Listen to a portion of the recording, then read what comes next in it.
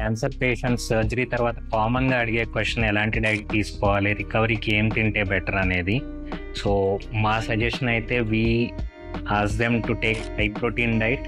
ఎందుకంటే సర్జరీ తర్వాత వాళ్ళు కెటబాలిక్ ఫేజ్లో ఉంటారు. సర్జరీ ముందు నుంచే they will been stress so protein helps in muscle build up and also stops catabolism. So high protein diet is very important. ఎస్పెషల్గా we advise eggs because each egg has 6 grams of protein.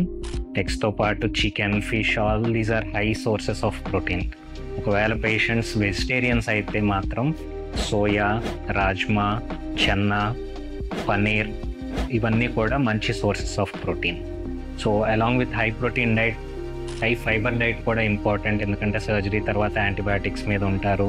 Motility తక్కువ ఉంటుంది and most of them will have constipation bloating all those symptoms so high fibre diet is very important అందులో కూడా green leafy vegetables are very important along with fruits you have low glycemic index fruits and high glycemic index fruits high glycemic అంటే like mangoes bananas సడన్గా షుగర్స్ని shoot up చేస్తాయి so if you're diabetic and concern low glycemic index fruits like pears, apples, with eSport shoe and they are very safe in even uncontrolled diabetic patients.